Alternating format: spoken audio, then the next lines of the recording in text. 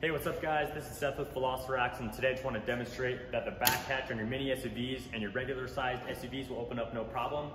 Once the rack is in loading position, I can open up the back, put my dog back there, groceries, whatever I need, and then once I'm done, I can just push the rack back up.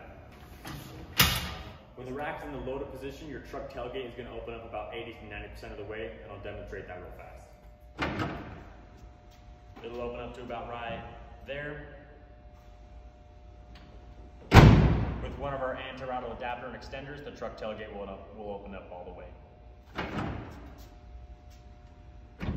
No interference. You can load things in and out of your truck, no problem.